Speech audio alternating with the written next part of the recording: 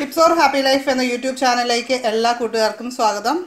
ഇന്ന് നമ്മൾ തയ്യാറാക്കാൻ പോകുന്നത് വെളുത്തുള്ളി അച്ചാറാണ്. വെളുത്തുള്ളി അച്ചാർ പല രീതിയിൽ ഉണ്ടാക്കാം ഞാൻ ഇതിനു മുമ്പ് നമ്മുടെ ഉലുവയും അതുപോലെ തന്നെ കായവും ചേർത്ത് അച്ചാറിന്റെ റെസിപ്പി ഇട്ടിരുന്നു. അപ്പോൾ ഇപ്പോൾ പുറത്തൊക്കെ ഉള്ളവർക്ക് അതുപോലെ തന്നെ ബാച്ചിലേഴ്സിനൊക്കെ ഉണ്ടാക്കാനായിട്ട് കുറച്ചൊരു ബുദ്ധിമുട്ടുണ്ട്. അപ്പോൾ എന്നാലും എല്ലാവർക്കും ഇഷ്ടമുള്ളതാണ് വെളുത്തുള്ളി അച്ചാർ. അപ്പോൾ വളരെ സിമ്പിളായിട്ട് വെളുത്തുള്ളി അച്ചാർ അച്ചാർ പൊടി കൊണ്ട് എങ്ങനെയാണ് ഉണ്ടാക്കുന്നതെന്നാണ് ഇന്ന് ഞാൻ കാണിക്കാൻ പോകുന്നത്. ഞാനിവിടെ മുന്നൂറ് ഗ്രാം വെളുത്തുള്ളിയാണ് തൊലി പൊളിച്ച് വെച്ചിരിക്കുന്നത്. പിന്നെ നമുക്ക് വേണ്ടത് അഞ്ച് പച്ചമുളക് അതേപോലെ ഒരു കഷ്ണം ഇഞ്ചി. ഇഞ്ചി ഞാൻ ഇത്രയാണ് എടുത്തിരിക്കുന്നത്. പിന്നെ നമുക്ക് ഏതെങ്കിലും ഒരു അച്ചാർ പൊടി. ഞാനിവിടെ ഇപ്പോൾ യൂസ് ചെയ്യുന്നത് ബ്രാഹ്മിൻസിന്റെ പിക്കിൾ പൗഡറാണ് ഇതിന്റെ നമുക്ക് പകുതിയോളം നമുക്ക് അച്ചാർ ഉണ്ടാക്കാനായിട്ട് ഉപയോഗിക്കണം. അച്ചാർ ഉണ്ടാക്കാനായിട്ട് എപ്പോഴും നല്ലത് നല്ലെണ്ണയാണ്. ഇപ്പോൾ ഞാനിവിടെ നല്ലെണ്ണ എടുത്തിട്ടുണ്ട്. പക്ഷെ നല്ലെണ്ണ കുറവായതുകൊണ്ട് ഞാൻ കുറച്ച് വെളിച്ചെണ്ണ കൂടി ഇതിലേക്ക് ആഡ് ചെയ്യുന്നുണ്ട്. നമ്മുടെ അച്ചാർ കൂടുതൽ നാൾ സൂക്ഷിച്ചു വയ്ക്കാനുള്ളതാണെങ്കിൽ നല്ലെണ്ണയിൽ തന്നെ ചെയ്യുക. അല്ലെങ്കിൽ നമുക്കിപ്പോൾ വെളിച്ചെണ്ണ ആയാലും കുഴപ്പമൊന്നുമില്ല. പിന്നെ നമുക്ക് കുറച്ച് കറിവേപ്പില വേണം. അച്ചാർ പൊടി വാങ്ങിക്കുമ്പോൾ നമുക്ക് അതിൽ നോക്കിക്കഴിഞ്ഞാൽ ഇൻഗ്രീഡിയൻസ് ഒക്കെ അറിയാം. കായവും ഉലുവാപ്പൊടിയും ഒക്കെ അതിന്റെ അകത്തുണ്ട്. അതുപോലെ ഉപ്പും അകത്ത് ചേർന്നിട്ടുണ്ടെന്നാണ് ഞാൻ ഈ വാങ്ങിയിരിക്കുന്ന പാക്കറ്റിൽ പറഞ്ഞിരിക്കുന്നത്. അപ്പോൾ എന്നാലും നമുക്ക് നോക്കിയിട്ട് ആവശ്യത്തിന് ആവശ്യമുണ്ടെങ്കിൽ നമുക്ക് ചേർത്ത് കൊടുക്കാം. താളിക്കാനായിട്ട് കടുക്. പിന്നെ നമുക്ക് വേണ്ടത് വിനാഗിരിയാണ്. ചില സ്ഥലങ്ങളിൽ നിന്ന് ചൊറുക്ക എന്ന് പറയും. പിന്നെ വെളുത്തുള്ളി നിങ്ങൾക്ക് വേണമെങ്കിൽ കട്ട് ചെയ്തിട്ട് എടുക്കാം. ഇപ്പം ഞാനിവിടെ കട്ട് ചെയ്യാതെയാണ് എടുത്തിരിക്കുന്നത്. അപ്പോൾ നമുക്ക് എങ്ങനെയാണ് വളരെ സിമ്പിളായിട്ട് ചെയ്യുന്നത് നോക്കാം. നമ്മളിവിടെ ചട്ടി അടപ്പത്ത് വെച്ച് എണ്ണ ഒഴിച്ച് അതിലേക്ക് കടുക് ഇട്ട് കൊടുത്തിട്ടുണ്ട്. ഇനി നമ്മൾ എടുത്തു വെച്ചിരിക്കുന്ന വെളുത്തുള്ളി ഇതിലേക്ക് ഇട്ട് കൊടുക്കുകയാണ് ചെയ്യാൻ പോണത്.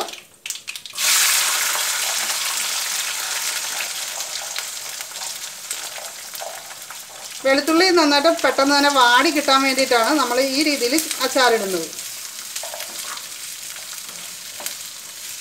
അപ്പോൾ ഇങ്ങനെ ചെയ്യുമ്പോൾ നമുക്ക് അധികം വൈകാതെ തന്നെ നമുക്കെടുത്ത് കഴിക്കാൻ പറ്റും.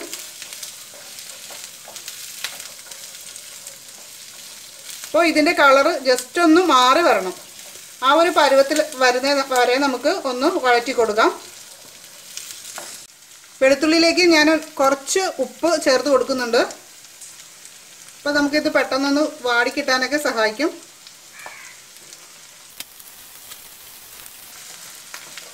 ഇപ്പോൾ നമ്മുടെ വെളുത്തുള്ളി ജസ്റ്റ് ഒന്ന് വാടി തുടങ്ങിയിട്ടുണ്ട്. അപ്പോൾ ഇനി നമുക്ക് നമ്മുടെ പച്ചമുളകും അതേപോലെ തന്നെ ഇഞ്ചി അരിഞ്ഞതും ഇതിലേക്ക് ചേർത്ത് കൊടുക്കാം.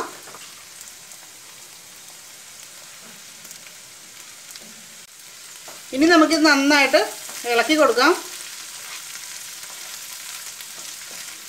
ഇതിൽ ചില വെളുത്തുള്ളിയൊക്കെ നല്ല വലിപ്പമുള്ളതാണ് അങ്ങനെയൊക്കെ ഉള്ളതൊന്നും അരിഞ്ഞിടാം നമുക്ക്. ഞാനിപ്പോൾ അങ്ങനെ അരിഞ്ഞിട്ടൊന്നുമില്ല. ഈ വെളുത്തുള്ളി അച്ചാറിടാനായിട്ട് വളരെ ബുദ്ധിമുട്ടുള്ളൊരു കാര്യം എന്ന് പറഞ്ഞാൽ ഇതെല്ലാം പൊളിച്ചെടുക്കുന്നതാണ്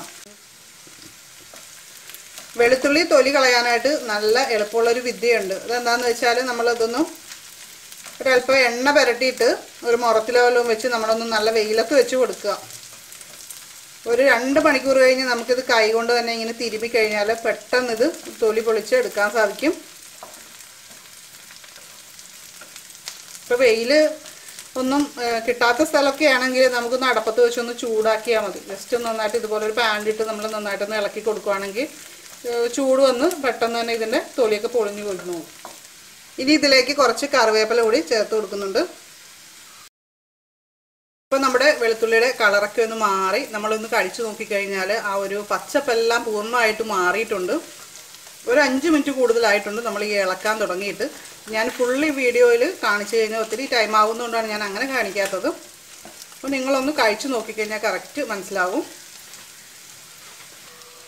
നമുക്കിനി അച്ചാർ പൊടി ഇതിലേക്ക് ചേർത്ത് കൊടുക്കാം.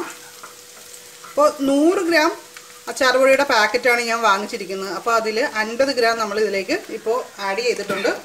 ഇനി നന്നായിട്ട് ഇളക്കി കൊടുക്കുക ഇപ്പോൾ തീയൊക്കെ ഒന്ന് കുറച്ച് വെക്കണം. എനിക്കിവിടെ എണ്ണ ഒരല്പം കുറവുണ്ടെന്ന് ഞാൻ പറഞ്ഞില്ലേ? അപ്പോൾ അതുകൊണ്ട് ഞാൻ ഒരല്പം വെളിച്ചെണ്ണ ഇപ്പോൾ ചേർക്കുന്നുണ്ട്. നന്നായിട്ട് പൊടിയൊക്കെ നന്നായിട്ട് വെളുത്തുള്ളിയിൽ പിടിക്കത്തക്ക വിധത്തിൽ ഇളക്കി കൊടുക്കുക. ഒരു രണ്ട് മിനിറ്റ് ഈ രീതിയിലൊന്ന് ഇളക്കി യോജിപ്പിക്കുക. ഇനി നമുക്ക് തീ ഓഫ് ചെയ്യാം. ഇതിന് ശേഷം നമ്മൾ ഇനി ചൊറുക്ക ഇതിലേക്ക് ആഡ് ചെയ്യണം. അത് പുളിയുടെ ഓരോരുത്തരുടെ പുളി അനുസരിച്ച് ചേർത്ത് കൊടുക്കുക. നമ്മൾ കൂടുതൽ നാൾ വെച്ചേക്കാനുള്ള അച്ചാറൊക്കെ ആണെങ്കിൽ ചൊറുക്ക ഒരല്പം കൂടുതൽ ചേർക്കുക. ഞാൻ ഈ ഒരു രീതിയിലാണ് നമ്മൾ ചേർത്തിരിക്കുന്നത്. ഞാൻ ഈ ഒരു രീതിയിലാണ് ചൊറുക്ക ചേർത്തിരിക്കുന്നത്. ഇപ്പോൾ നമ്മൾ കുറച്ച് സമയം വെച്ചിരിക്കുമ്പോൾ നമുക്ക് ഇതിന്റെ ഈ ചൊറുക്കയുടെ അളവ് ഇതിൽ കുറയും. ആവശ്യമെങ്കിൽ ചേർത്ത് കൊടുക്കാം. ഇപ്പോൾ കറക്റ്റ് ഇത് നന്നായിട്ട് പാകമായിട്ടുണ്ട്. വെളുത്തുള്ളി അച്ചാർ നമുക്ക് പെട്ടെന്ന് തന്നെ കഴിക്കാവുന്ന ഒരു പരുവത്തിലേക്ക് റെഡി ആയിട്ടുണ്ട്. ഇനി നിങ്ങൾക്ക് മധുരം ഇഷ്ടമുള്ളവരാണെങ്കിൽ ടേസ്റ്റ് ക്രമീകരിക്കാനായിട്ട് ഒരല്പം പഞ്ചസാര കൂടി അച്ചാറിലേക്ക് ചേർക്കാം. അത് ഓരോരുത്തരുടെ ഇഷ്ടം അനുസരിച്ച് കേട്ടോ. ഇന്നത്തെ ഈ വീഡിയോ ഇഷ്ടമായാൽ ലൈക്ക് ചെയ്യുക അതുപോലെ നിങ്ങളുടെ ഫ്രണ്ട്സിനൊക്കെ ഇതൊന്ന് ഷെയർ ചെയ്ത് കൊടുക്കുക. നമ്മുടെ ഈ ചാനൽ ആദ്യമായിട്ട് വിസിറ്റ് ചെയ്യുന്നവരാണെങ്കിൽ ഈ വീഡിയോയുടെ താഴെയുള്ള റെഡ് കളറിലെ സബ്സ്ക്രൈബ് എന്ന ബട്ടൺ ക്ലിക്ക് ചെയ്യുക.